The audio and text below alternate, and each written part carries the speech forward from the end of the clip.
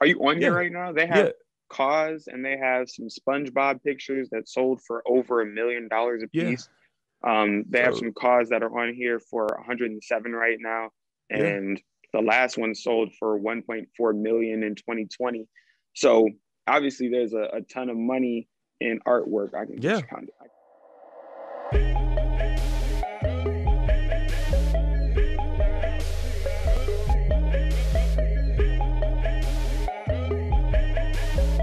Hey everybody, how you doing? Welcome to YBI. We talk about opinions and strategies to grow your financials, your wealth, and yourself. This is Roman and Zion here. How you doing? Like how I woke up with it right when I said it at the go the. I think that you forgot that the camera only goes so high. I have to um, readjust myself. This one's just full back, you know. You know, I, there's nothing Lean on my back. wall right Lean now. back. Hey guys, you know how y'all doing out there today? Um, start off this video by saying like it. Sure, let's go with got- that. Let's like it before exciting they one. even know what we're talking about. we got an exciting Um, one. It's fine. I like it. Today we're talking about art. Uh, last week, two weeks ago, whatever, we went over NFTs. We went over um, everything that NFTs really, really need. Everything that you need to know about NFTs. Yeah. Go check that out. Um, but today we're going to talk about art in general and um, using art as an investment tool. So um, let's do that. Yeah, I guess if a little recap just about NFT, I guess a little thing off of that about just, but the difference between like people say like, why would I want to buy a piece of art over why I would want like own like an NFT if you own like the original thing? Because with the NFT, it's still digital, so someone still could copy and paste it and kind of you know still put it wherever they wanted to. Whereas you know with the actual piece of art, you own it. Like if you if you have it, then like you own it. No one else is gonna have it. Like that's a one of one or whatever most of the time, or you get a series of prints, whatever. But um, like that's yours. It's about the it- tangible. yeah, it's so about the tangible. Like if you have an NFT on the USB and you lose that, it's gone. Versus if you know you have a piece of artwork on the wall, now all of a sudden you know somebody would have to physically come into your home and steal that, and that's why you have things insured. Blah blah blah. You also can Um, drag and drop NFT or drag and drop or copy and paste them. Like, you know, that one meme you saw um, is probably on how many people's phones already. They already have it um, that you can't really get any type of money for unless just by selling the original code or whatever for it through blockchain. So that that's that's that's that's the kind of issue. Only thing with NFTs that makes art ownership a little bit weird. Whereas, of course, if you buy a piece of art, if it grows in value, you sell it. That's just yours. Um, it is the more of a it, well, it is definitely a longer term play. And of course, most times in artwork in the field, you got to know people, you got to know what's going on, you got to go to art shows, you got to go to art galleries. You have to have a a decent amount of capital ready to make that investment. A lot of people are interested in getting into artwork, especially when it comes to hedge against like inflation or just diversifying the, their portfolios in general. But it's the barrier to entry is usually very high. Um, so I've been thinking about getting art for multiple years, and of course, every time I looked at it, pieces of artwork were always a lot more money than what I wanted to pay for them at the time, or even could afford to really do it. Because even if you do buy it, most times you're holding a piece of art for years before you know you might sell it. It's it. Oh, I would say at least maybe three years at the- at the very least. Most people even hold it for longer before they even think about selling it. It's really just retention of value that that grows, if, if anything. Um, so that got me looking into other means of ways to do it. Have you heard of a company called Masterworks? You know, I heard about it through you. Really? Yeah, you told So- me about it yesterday. Oh wow. Um. So this, I don't even know how I first heard about them, but it, I ended up, I guess, probably just looking around, finding how I can invest in art, and I found this company called Masterworks. I don't know if you have seen like the the kind of like the crowdfunding platforms that become popping up. Masterworks is kind of like that, but with art.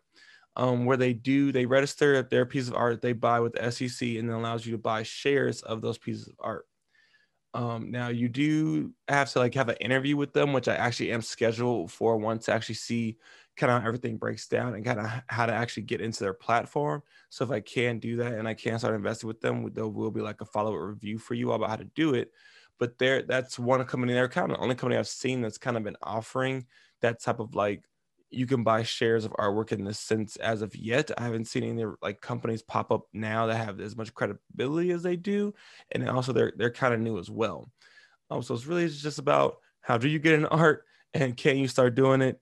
Yes. If you could find an art gallery and do the research as how in a stock and pick the right piece of art with the right artist you feel like they're going to grow in value over the next three to 10 years or whatever, bam, you can buy that piece of artwork by yourself.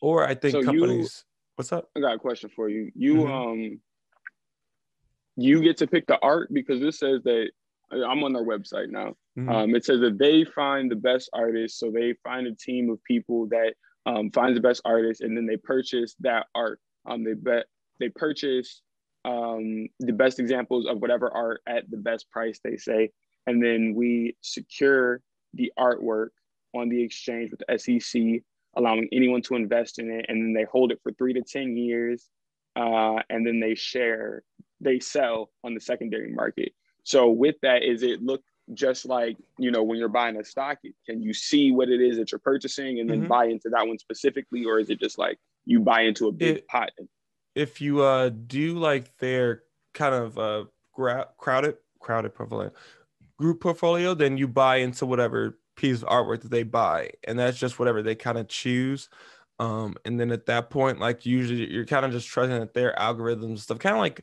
wealthfront or ETFs or any exchange traded fund in that sense, you're really just trusting that the advisors have picked a good portfolio to invest in at that point. Um, if not, they do have a actual trading platform where you could just buy individual shares of individual pieces of artwork that are just posted on their on their site. So you could, as an investor, just go on there and just buy shares of random pieces of artwork that you see up there. The only issue is you just have to you have to know the art. Like if you're not really familiar with the art world and how much art is really worth, you could be buying. I'm I'm seeing some shares up here that's going for like 20 bucks, you know, five shares for like 20 bucks, but I have no idea what this artwork is or what it is. I could buy it and hold it for three years and hope it goes to like 500, but you just, I, I have no idea. So in Do my you see some of this stuff are you on here right now they yeah, have KAWS and they have some spongebob pictures that sold for over a million dollars a Yeah. piece um they have some KAWS that are on here for 107 right now Yeah. and the last one sold for 1.4 million in 2020 so obviously there's a, a ton of money in artwork i can Yeah. kind of i can't screen share oh, but I'll, I'll show real is quick. what i'm looking at I'll share my screen real quick. Okay. Yeah, this is uh on their trading on their trading section. You can kind of see what has uh yeah, the KAWS up top. Um click on the KAWS one. Yeah, that first one. This is what I'm looking at. Um just some stuff that sold for crazy money uh Yep. recently. Which like which it does and which and they they are tracking like artwork does more or less perform better than even the stock market you know boasting out anywhere from 32% to 40% returns on most cases on some of these things. So oh i can't even create accounts even see that. No, they don't even let me see that one. So a lot of this artwork and you could pick and be like okay i know this artwork this artist has sold artwork before for around a few million but you just don't know for sure at least i don't know for sure um, so I'd rather just go ahead and trust. I would, I, I would honestly try them out for you all and see, you know, what they could do and just and see what happens with it. Oh, I mean, of course, I guess you really wouldn't know them for three to ten years. So podcast still doing the thing for three to ten years. uh, We'll see what happens, but um, because it's really whenever they sell. I did, I did hear an interview from one of their, I think their CEO recently. I'll see if I could find it again and put it down below. But he was basically saying that um it they they could sell they sell their art and give it back the money back to investors whenever they feel like the profits at the best. Um, so if they feel like the arts, you know, went up 30, 50% and they have a buyer for it, they'll sell it right then and there. If they don't have a buyer for it yet, you know, they might hold it longer for, you know, for a three to 10 year time span or whatever. But it just really depends on when they have a good buyer for it. They do always try to to get profit for their investors as soon as possible, but art, it the way it way art works, it kind of, you know, it you hold it until it's ready to be sold at a good price. It's weird. They thing. have Basquiat on here, bro. This is yeah. wild. Yeah, like the, hundred dollars, well, the shares. Like it's they have five shares and the ask is twenty dollars and they talk about the total Mm-hmm. is a hundred. I just buy that and put it on the wall. well, you can't put it on the wall. I know, yeah, I know. You could buy know, your I want it. certificate. You could put your certificate on the wall. Be like, I hey, want print certificate. I want the art. and, and buy the whole thing. I want the art. Um, yeah, for me, it's I I'm looking at this as an investment, but I'm also saying I want the piece to put on my wall. Yeah. Um, I just recently got into purchasing artwork and not even like artwork that you think of. There is there are some very talented people out here in these streets. And um, I've talked to them and I've gotten several custom pieces made. Um, and this is what they want to do with their life's work. Cool. That means that if I'm getting in here early and often, I have a one of one that you know is customized for me that i'm like yeah i had this made by this person and if they get big cool if not i have a custom piece that you know is big enough for me to put on my wall i literally have two pieces being made right now um, and that's that's what I feel is a good way to to start an artwork. One because I'm not spending a ton of money. Two because it's completely custom, so I know that I'm going to like it. And three because it's all risk, no, I mean low risk. At yeah. the end of the day, I'm no matter what, I'm going to love. Yeah, you're not really trying to make like money it. off of it. And but if they happen to blow up, now I got you know what I'm saying I got in early, early, early. Yep. Um, that's is, artwork for me. So yeah. Roman, I'm sure that you know a bunch of artists. I mean, going to schools like Columbia and stuff, there are always artists around. Yeah, like I have quite a few, like even just RPs around my room that just friends have like done for me, and portraits and things like that. And everywhere, every time I travel somewhere, I try to usually pick up some type of art somewhere. So it, it's, and I, I should actually, I uh, no artist I know at this moment has like blown up at the point where they're like their own like a kind of gallery page. I've seen a few of them have like, you know, Instagram fame and things like that with their own digital artwork, but I haven't seen anyone like on this level yet selling like million dollar pieces. Um, but that's a, uh, as art as an investment, I am interested to actually see it kind of more or less do more, have more people kind of get into it. Um, it, it is it is more difficult. I would say it is a lot more complicated. I, maybe more complicated in the stock market at some points. Just to go to a gallery and just spend whatever, 100 grand right then and there on a piece of artwork that you may not even know. You, you need to do your research, at least have an expert with you. It's definitely a whole different field of research and knowledge. So I wouldn't say just go out there and start buying up random pieces of art without knowing how much they are how much they're even worth, unless you just like it. Of course, if you just like the art, you see it, you're like, you know, that's a beautiful piece of artwork. I just want to put it in my home. Cool, get it. Um, and one day, you know, it might end up being worth some change. So, um, for Masterworks, you said that you needed. What is this whole invitation situation? Yeah, so invitation, and then they you schedule an interview. I'm actually supposed to have my interview with them today in a few minutes, or like a like a, about an hour or so. And they call you, put in for about a, 30 minutes. Uh, they didn't call for like 30 minutes, but they want you. They want you to know. They kind of basically teach you about the art market a little bit let you know what the expectations are, let you know what's going on, teach you about the process, so that way you're not confused about why you give them your money and why you can't get it right back instantly. Because of course it's, it's art. You're not going to you it's not it's not that liquid. It won't be liquid until they sell the artwork. So you give them a thousand dollars you won't see that thousand bucks until the the money or until that art piece is sold again. Or you could there is a way to get out earlier um, on that trading platform. You could post like me myself let's say i buy five shares of picasso and i'm like in about a year i'm like uh, I kind of want that money back. I don't want to sit on it too much. I could post my shares on their trading board, and if you buy them, um, then you now own my shares, and I'm out. But that's only if you know you buy them off that off the, the platform there. So it, you, there is mm. ways to kind of get out of it quicker, but normally they just want you to know and be prepared that you know you get into this investment world. That's how it works. Same deal, even with um, I have well, I have looked at like Fundrise and DiversyFund and those other crowdsource funds, similar like that, where they, they're gonna let you know, like, hey, your money's locked in here for six months to five years or whatever, and you want me to get it out without a fee within that time, kind of like a CD and things like that. You put your money in there, it's locked for a certain amount of time. Yeah, yeah. Um, I like it. I like the idea that before you can actually start trading on anything, that you have to have some some knowledge going into that. I'm a fan of that. Um, you'll have to let me know how that goes mm-hmm. at the end of the day. So I don't know if I would do this per se. Um, I want art that I can actually put on my wall right now. Yeah. So in terms of artwork for me, I have to be able to see it. I hate this wall, but this is my office, one of three offices that I'm in.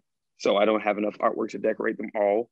Um, but once I move into my home office, it will be decorated. Y'all will see some of the artwork that uh that I rock with.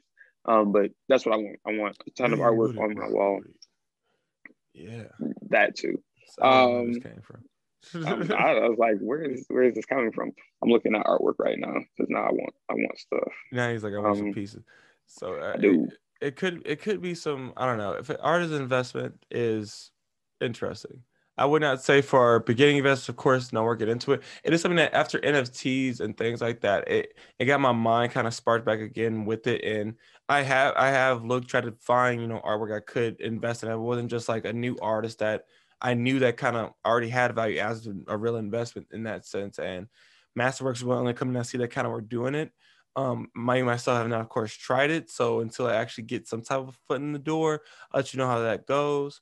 Of course, I won't see any returns probably on it for for a couple years if I do do it. So it'll be a while before you all know anything about it. But a little intro just to let you all know that art can be a good investment. It's a way to get into it, or even collectibles.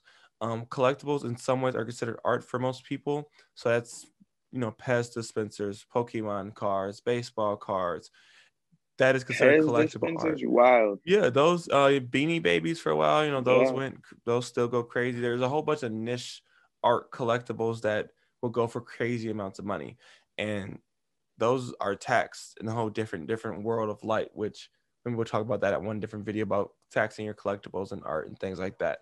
But yeah, Yo, guys, uh, picture fire, bro. Yo, I'm looking at these Jackson Pollocks now. You know what I mean? Like, yeah, I'm trying to get trying to slide on one of these. All right, I'm, I'm, I'm Guys, I would hope that this video has been informative for you all. At least get your mind maybe thinking about other different types of investments that you also can start making. Art could be great, especially if you know how to even start picking. Even if you start just looking at everyone knows like the Picassos and the Mozarts and the Basquiat's, but if you could find like a growing artist, you with say a, Mozart? Oh, oh yeah, I just said Mozart. I'm just thinking about classic artists in general now. Oh gosh. Yeah, I want that young Mozart painting. That oil I mean, painting. If there's like a Mozart portrait, that's like, you know, that's probably going for some change somewhere. 100%. Um, tangent. Even though I just don't know who was the real artist anymore. Eh. Uh, yeah. I think that that's gonna effectively wrap it up for us today, guys. Um, buy art if you know what you're doing. Yeah, or um, even buy art from your local artists, even now and again. You know, I know yeah, we put, I, we had a few yeah. artists we were supposed to hear. I've had a few artists on the on this channel already. Hook them up. You see an artist you like, buy some art. It's good to have those custom art because it also gives you a story in your home, and you never know. And the customization means that you can pick a lot of different things. Now I'm gonna get on yeah, customization. I pick a lot of custom things. Like I was like, this is what I want, but I want the background to look like this, and I want the background to oh, be yeah. in black and white, but I want the foreground to be in um, vivid colored. Like I want this, yeah. I want colored pencil instead of paint, blah blah blah. Like all these different things that you can really control. Yep. Um, if the artist is like, I'll make whatever you want if you're willing to pay for it, kind of situation. Yep. I was like, cool. Oh, Here for it. Actually, I guess I could. Can I reach this one without messing anything up? Uh, uh, uh. Like I got this one done originally by like an artist here. She got signed right over here, and you know I have a couple. Actually, I have a few of these ladies around my house that like she did for me, um, and that's just like one of her specialties. Um, so just you know picking up like art pieces like that. Yeah, support the local community. I'm sure that they appreciate it. Mm-hmm we guys, we, we love and, and appreciate y'all. Um, hit us up in the Discord if you want to know anything about this. Um, I will pro- I'll probably end up posting in Discord, or maybe we'll just do like a little follow up talk on our next video about my Masterworks interview. If you all want to know about it, let us know in the description below. Um, comment, like, subscribe, share our videos with everyone that might want to get a little knowledge of anything. Um, thank you guys. We, as you already know, we may be young, we may be broke, but we are always investing. Peace. Till next time. Everybody, thank you for listening to Young Broke and Investing. We just want to let you know that these are the opinions of the hosts. They're not meant to be the basis of any security purchases or investments. We're trying to give a little information out there for everybody and uh, have fun and be safe.